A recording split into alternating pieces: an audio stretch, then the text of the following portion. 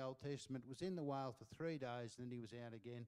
And historically, the, um, other seamen have had that kind of experience. So it's not a, a one off part of mythology that's in the, in the scriptures.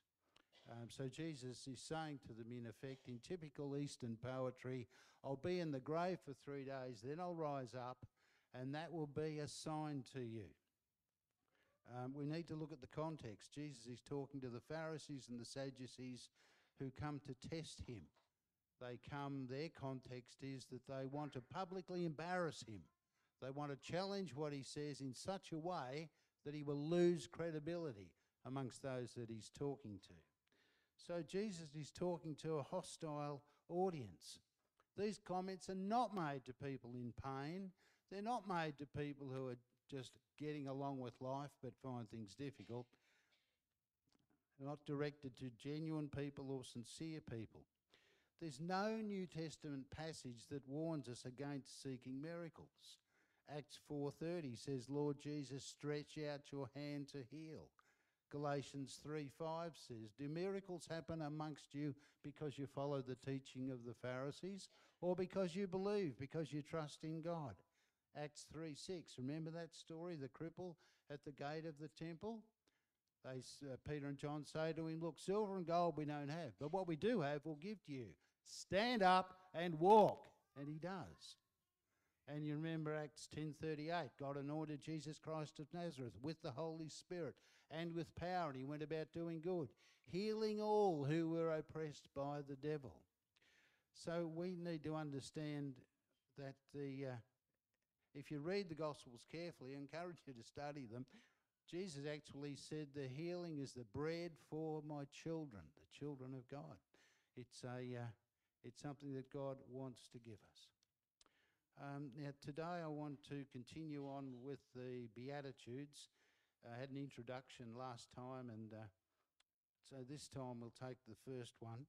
Jesus saw his ministry drawing huge crowds, and he climbed up on a hillside. And those who were apprenticed to him, his disciples, those who were committed to him, they climbed up with him. And arriving at a quiet place, he sat down and he taught. And this is what he said He said, You're blessed when you're at the end of your rope. With, with less of you, there's more of God and his rule. Now, that's out of Peterson, of course, the message, but you can read Matthew 5 3 in a, um, in, in a version that's less contemporary. It's just, of course, blessed are the poor in spirit, for theirs is the kingdom of heaven. Um, next time I preach, I'll probably do the, the next one. Blessed are those who mourn, um, to admit that we are hurting. Blessed are the meek, I will take advice.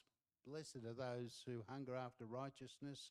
I really want to be right with God. Blessed are the merciful. How do I treat other people? Blessed are the pure in heart. I'm admitting I want to see God. Blessed are the peacemakers. I will make bridges between people. And blessed are those who are persecuted. I will be happy in the service of the King, no matter what it might bring. So the Sermon on the Mount is really like a symphony. It it builds together, and when you take all the aspects of it, there's a real healthy wholeness in the whole of the, the passage. And there's a logical sequence. Um, if you read very much of uh, philosophy, particularly the words of the East or of the modern atheists or of the existentialists, you, you find a philosophy of despair and no future. Uh, in the 9th century in Islam, one of the Sufi mystics said, Your existence is a sin with which no other sin can be compared. A thousand years before Jesus, a Greek writer said, It's better never to have been born. And Robbie Louis Stevenson, who wrote Island, Treasure Island, he said, What a monstrous thing it is to be a man. What a disease of the dust. So, if you and I are indeed blessed if we receive the revelation of God through Jesus, because above all, and there's a great uh, contrast to a lot of teaching, this is something that gives us hope. Oh, the blessedness of the person that does not walk in the counsel of the ungodly. Oh, the blessedness of the person who does not stand with those who are sinners. Oh, the blessedness of the person who does not sit with those who mock. Anyone an idea where that comes from? Psalm 1. So when Jesus says, Blessed are the poor in spirit, he's really a declaration that has a long history. Of course, it comes out of Judaism where the declaration is a remarkable blessedness if this is what we follow. It's a, it's a, it's a grand statement, it's a declaration, it's uh, something that's exalted and dramatic. Jesus is saying, if you're really poor in spirit, you can be blessed because yours is the kingdom of heaven. Of course, the trick is with you and I do we receive it. the, uh, the word there is that, that the context of it is that we would be like the island of Cyprus. We would be Makarios. We would be complete in God. The island receives beautiful sunshine, rain, it's good soil. You can grow, you can grow anything. So Jesus is saying if you experience a real poverty of spirit, then you experience a joy and uh, something deep within that's a great reassurance of the presence of God deep within. It's more than happy because the English word happy betrays itself in that its root word is chance. But what Jesus introduces us to is something beyond chance. Your joy, said Jesus, is from God, and no one can take it from you, and no one can snatch you out of the Father's hand. A change in fortune, a collapse in health, some kind of alteration in life, the failure of a plan, but there is within us, by the gift of the Spirit of Jesus, a steadfastness and a reassurance that we are not alone. A Christian, a follower of Jesus, enjoys something enviable, something untouchable, something pristine within that comes from the outside. It's an objective truth that brings within it a presence and a motivation and a wisdom and a way of looking at things that not to be found in any other place. In the Greek language in which the New Testament was written, there's two words for poor. The first one is penes, which means, uh, describes a person, say, who's a day labourer. He's not sure what will happen tomorrow, but today he's got a job. Today he has some wages. Today he will eat. Might only be one meal today, but he will survive. He will eat. Penes. The other word for poor is ptochos. That means somebody who's desperately poor. They don't have anything. They're not sure where the next meal is coming from. They're not sure if they'll survive to the end of the day. It's interesting that Matthew chooses that word when he says, Oh, blessed are the poor in spirit. It's ptochos poor, desperately poor, hopelessly poor. You have no guaranteed future at all. Jesus says, if you're, you are really blessed, when that's your understanding of yourself, then yours is the kingdom of heaven. I went to a short term mission trip over in northern India and I met quite a number of Hindu men who had become Christians.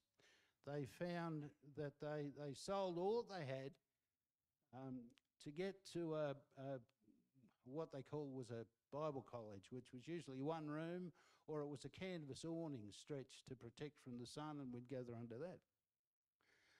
Their story inevitably was that someone in their family was sick their wife was dying or they were dying, something seriously was wrong. But because they were low caste, the Hindu priests wouldn't pray for them. And even if they paid the Hindu priest, which didn't have money anyway, he would still refuse because he would say, if you're lower caste, that's your karma. And I wouldn't want to disrupt the process of fate to disturb your karma.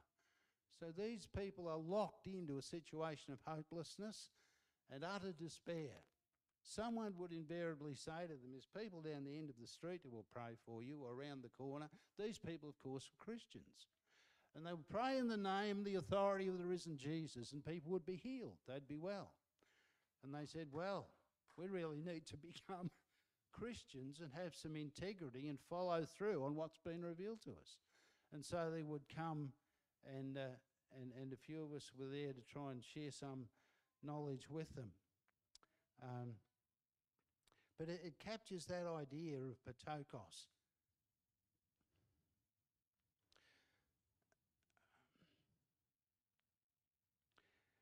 It's interesting as you read the Old Testament, you see with King David, he says, God, create in me a clean heart, O God. Don't cast me away from your presence. Renew a right spirit within me. There's somebody who understands his heart. What's the Apostle Paul say in Romans 7? He says, I do love God, but I have another law at work within me. Uh, I am a, a wretched man indeed because I try to do what's right. I have an idea what's right. I have a conscience, but there's another law at work within me. O wretched man that I am, he says, who can deliver me from myself? And what does he say then? He says, The one anointed of God, the Holy Son of God, Jesus Christ, who is risen from the dead, he is the one who is my Saviour who will deliver me. What's the prodigal son say in Luke 15? He comes back to dad and he says, I'm no longer worthy to be your son. He's got an understanding of who he is.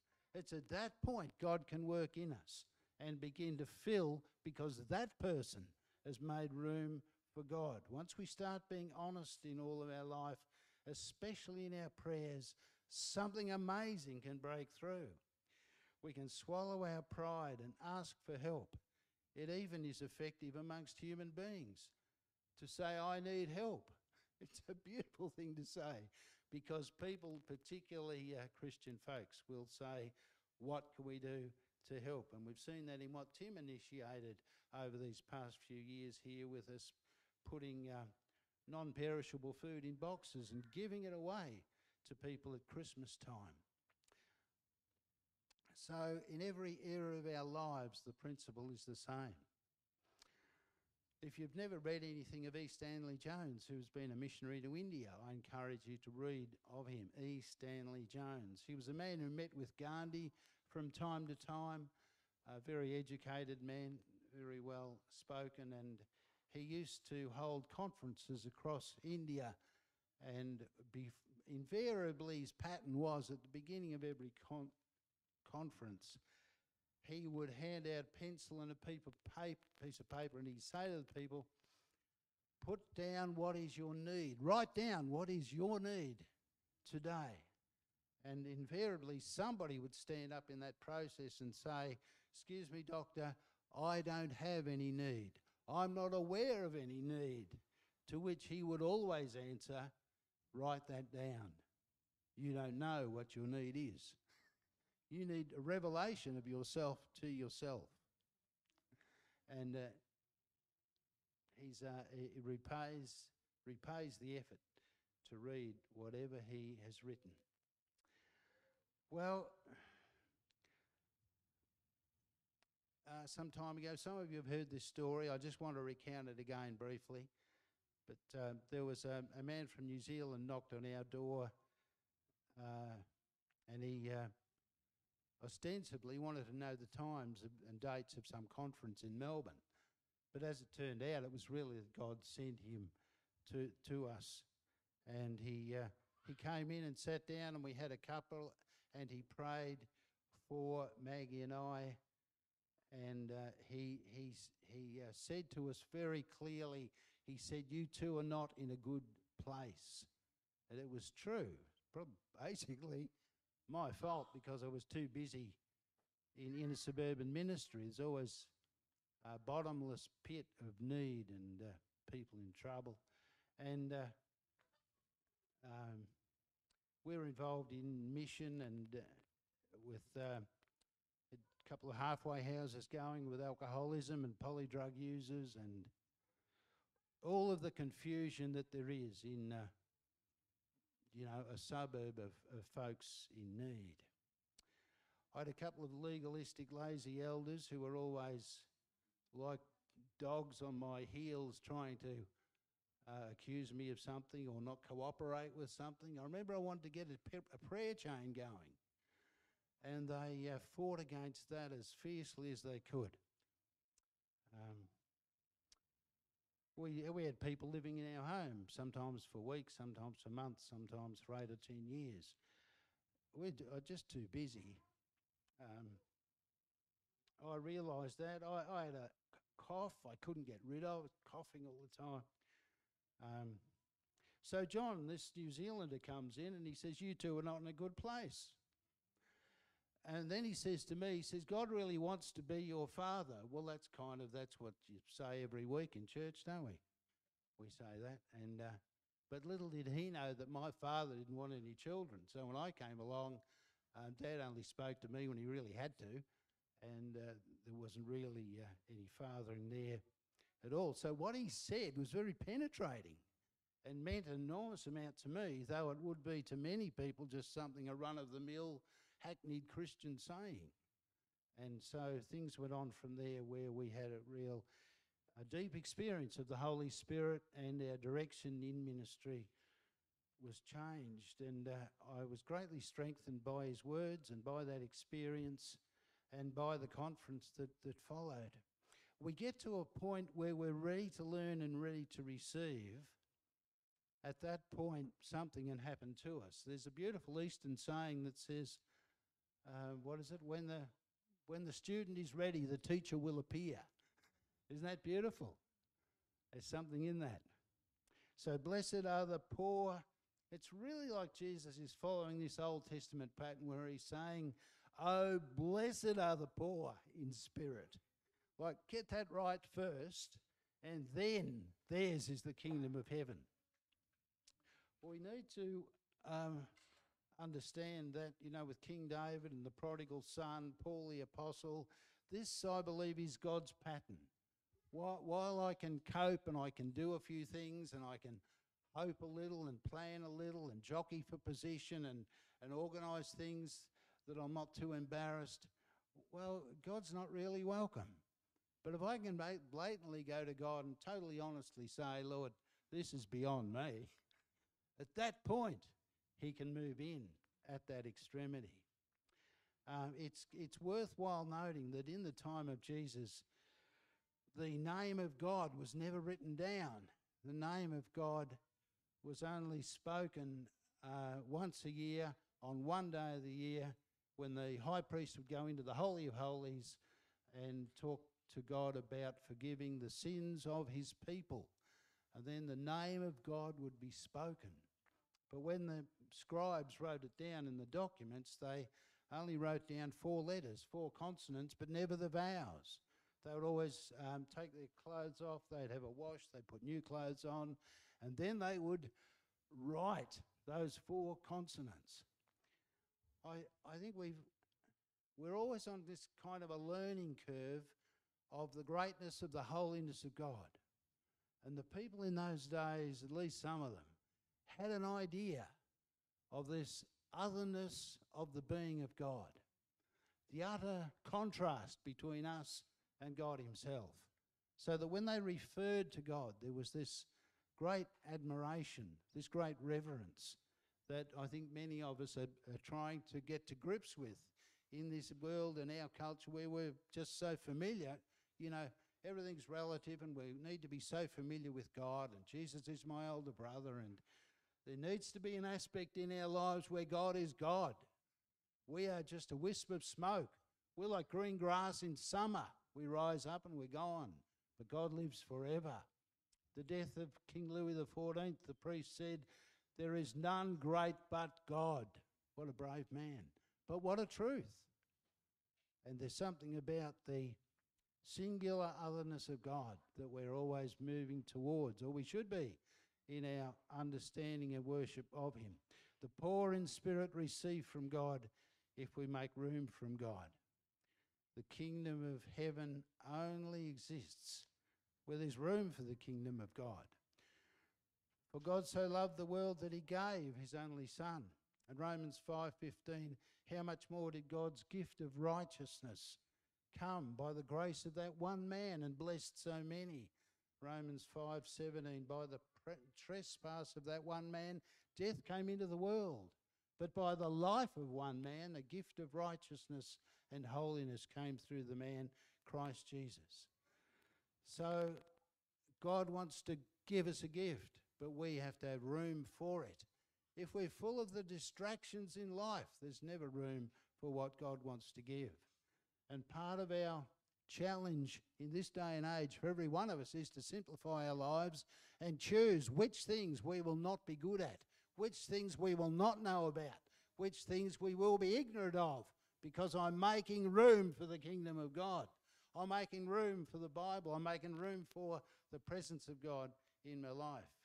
In the New Testament, Peter said, Depart from me, O Lord, I am a sinful man. He had a revelation of himself. And uh, what, did the, what did Jesus, out of his humanity, setting the pattern for us? He said, I do nothing but what I see the Father doing. I say nothing but what I hear the Father say. The reliance and the dependence on God set up for us as a pattern. Ptochos, having no resources, poverty of spirit, poverty, understanding in myself. I need to be receptive for God.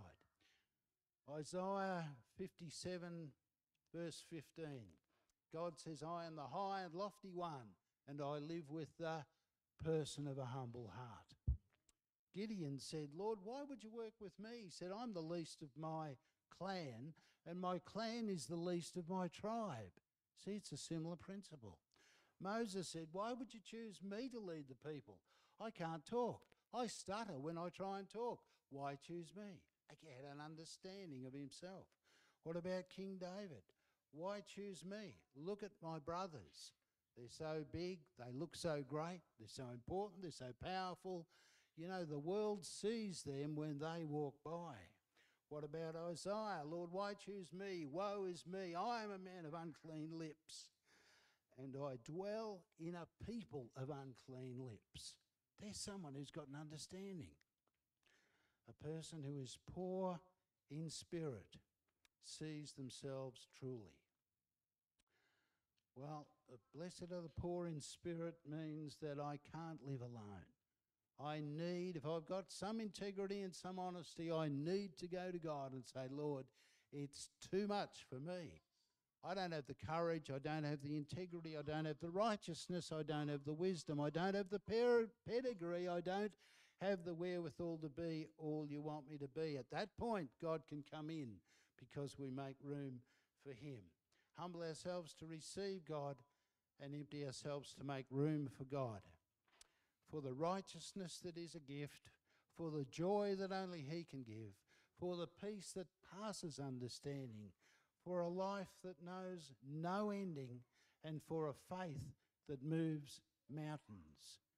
Jesus would say to you and I this morning do we love God with all of our heart, with all of our soul, with all of our strength, and with all of our mind? When we get towards that, we make room for the kingdom of heaven. Thanks, Sonny.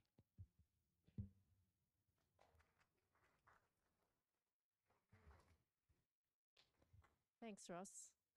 That was a great word. Some challenges in there and um, some things to think about.